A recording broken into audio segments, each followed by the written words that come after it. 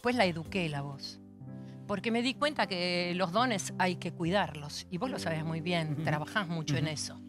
Cuando uno no es, no es dueño de- del don, uno solamente es la caja donde se guarda, custodio. Entonces, si yo estoy custodiando mi don, tengo que cuidarlo mucho, mucho, mucho. Y porque si no, si no lo cuido, un día por ahí se me va.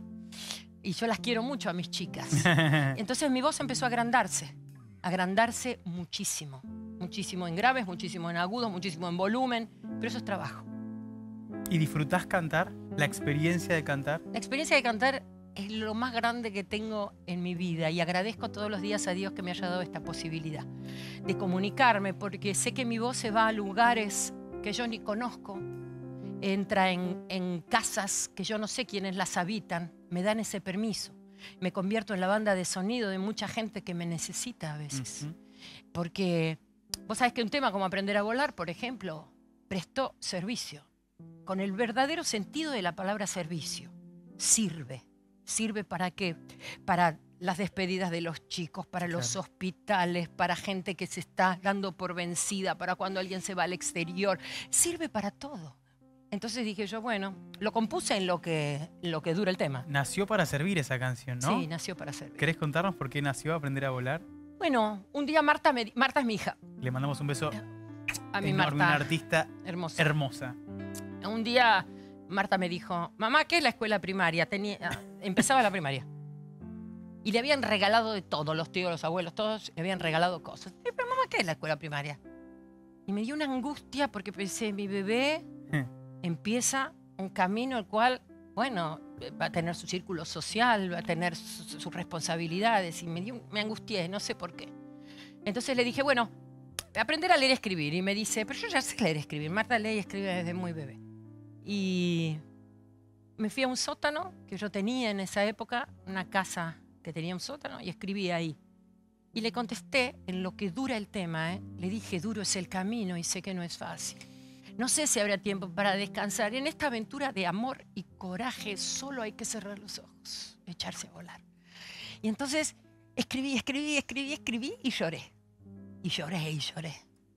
Hice una catarsis maravillosa que se transformó en poesía y que después le sirvió a la gente.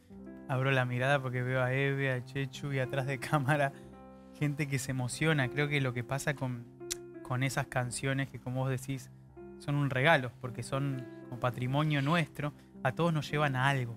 Pero ¿No? son, esa se llama inspiración asistida.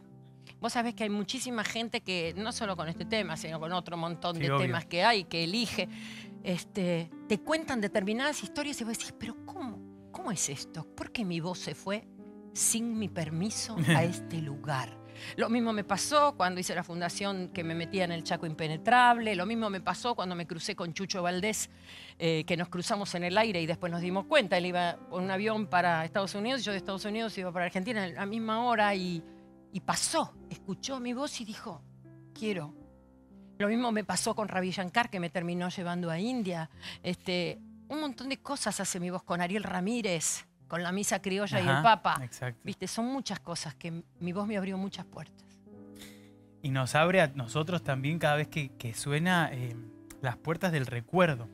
Porque creo que son como esos perfumes, ¿viste? Que esos olores, esos aromas Los olores que que, lo llevan a, la casa de la abuela, eh, el perfume de, no sé, yo cuando siento el perfume de mi mamá me acuerdo de mi mamá y me lleva recuerdos.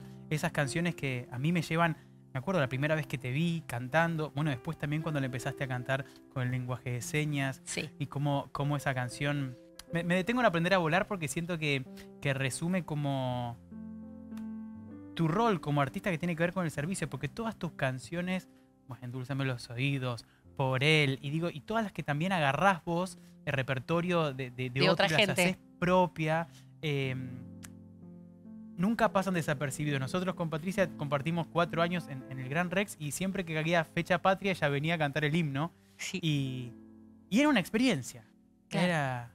Lo que pasa, bueno, cantar el himno es una experiencia, sobre todo si lo cantas en lengua de señas. Yo lo canto en lengua de Ajá. señas. Entonces, el lenguaje de señas es el lenguaje más expresivo del mundo porque cantás con el cuerpo. Y no es lo mismo gestuar que cantar con las manos. Porque en un momento haces una simbiosis y te empieza a salir música Claro. de las manos.